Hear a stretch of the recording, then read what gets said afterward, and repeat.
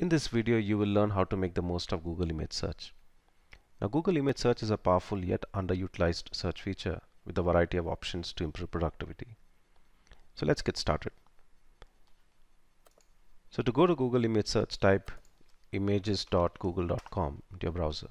Let's search for cat in search. Click the tools options to bring a set of sub options. Now to search only for large size images select large and when you hover the mouse um, over the image you see that the results are large in size by simply looking at the dimensions. Similarly you can search for medium or um, icon sized images. If you want to search for images of a particular size, for example 32 by 32, I select exactly from this drop down and key in the values. Now if I want to search for photos that are predominantly of a certain color, just select the color option and then choose um, you know, whatever color you want.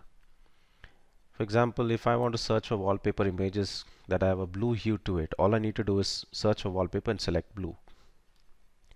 So let's try it out. Let's reset the options. Type in wallpaper and under tools, color, select blue.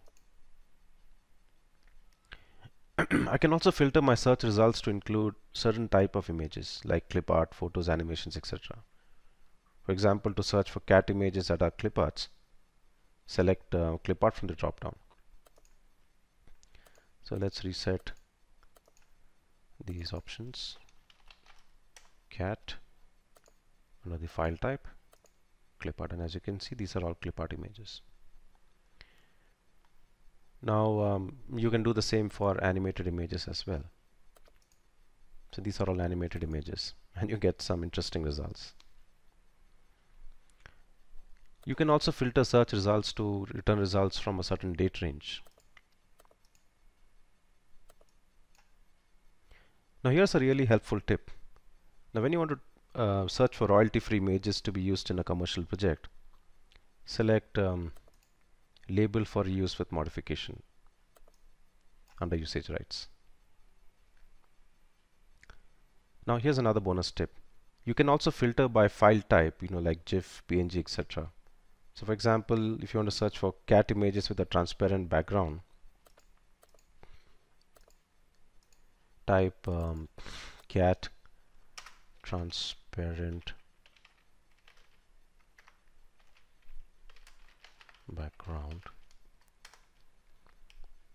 And follow that by file type colon PNG since PNG and GIF images return transparency information.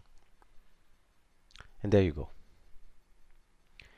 I hope you liked this video and found it helpful. Now there are more useful video guides coming away from TechKen now TechKen is a new channel that focuses on technology and design. So please like and subscribe to my channel to support the efforts. Thank you for watching